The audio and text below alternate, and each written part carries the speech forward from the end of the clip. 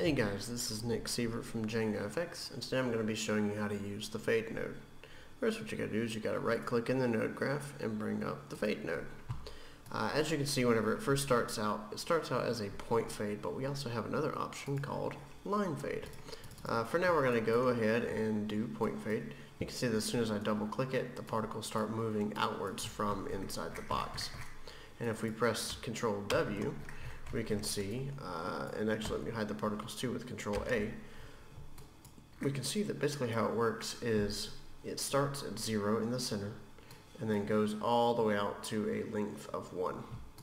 And we can see that with the min being in the center and max being on the outside of the vector field. Uh, exponent is just what multiplier is it. Um, it's basically kind of like a power node as well. So imagine power in math.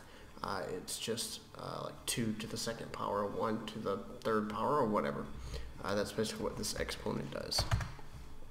And so uh, from here, you can see that we have the min, 0, max 1, and if we change max to negative 1, now it's going from negative 1 on the outside to 0 on the inside. And so if we reshow the particles, or actually unhide the particles and then restart the simulation, and we still have cut Y enabled, uh, you can see that the particles slow down as they get into the center. If we make the minimum negative 1 and the max 0, you can see that our vector field is now fading out uh, from here. But let's go ahead to our viewport settings real quick, and let's, or sorry, 3D view controls, change our spawn radius, and you can see that not all of the particles are being pulled into the center whenever we do this. The reason for that is that point fade is more of a spherical modifier. Since it's a point in space, it uh, influences all the vectors around it like a sphere. And so uh, if you're going from, say, uh, 0, which you would hope would be all the way in this corner, to 1, it's actually only going to 0 right around here and then around these corners, as you can see. And so it might be kind of hard to see in the video, but if you look, there is a ring around this. so let me unhide the rest of the vector field with Control W. You can see that there is a sphere inside the box. And because of that, we have like these chamfers where the vectors don't quite reach. And so what we can do to fix that is we simply uh, just lower the, oh, let's not do that part. We take the maximum and make it so that it's like negative 0.4. And so it's not completely from zero, but we can make it so it's almost zero on the edges right there. So there we go. And so now all of our vectors are pulling in towards the center.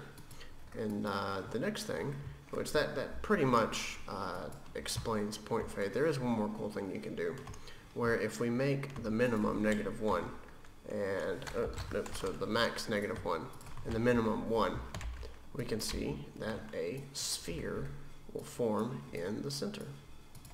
And of course, uh, by changing your exponent, you can grow the sphere bigger or smaller. And uh, that's basically it. So that's right, there's how you create your procedural sphere. Of course, you can play with these settings to uh, change it up a bit. So let's just go ahead and delete this node now to get a fresh fade going and going. And then we click this Let's click line fade. Now you can see, I'll double click it.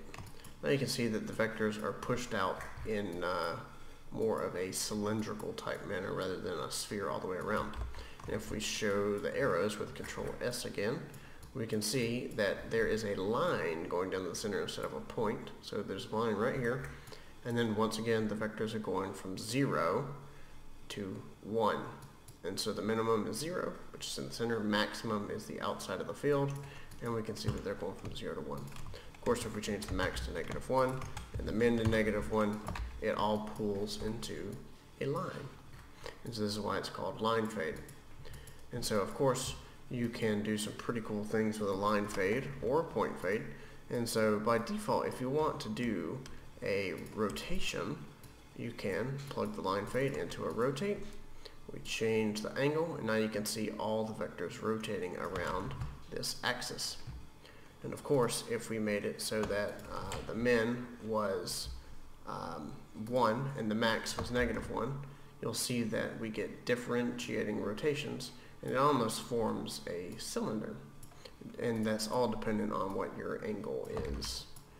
And so there you go. That right there is how you can get some pretty cool rotation stuff. That's basically what line fade and point fade is.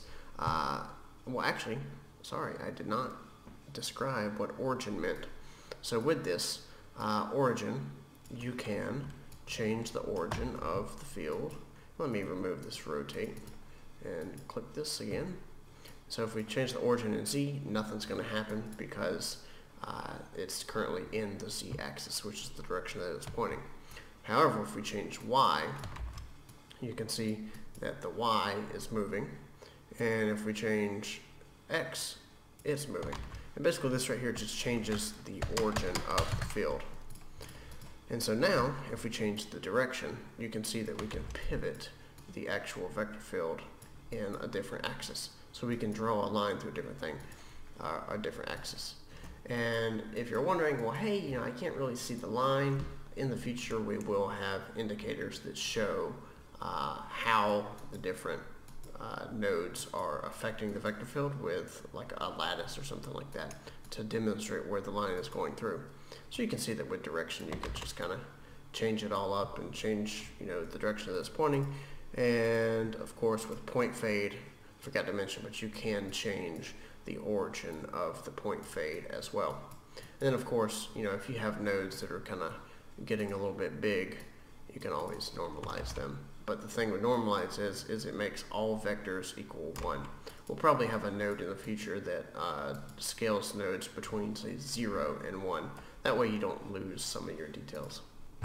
Uh, that really is it now, I do believe. And if you have any questions, please leave us a comment below. And if you like the video, like it, subscribe to us, and I hope you enjoyed it.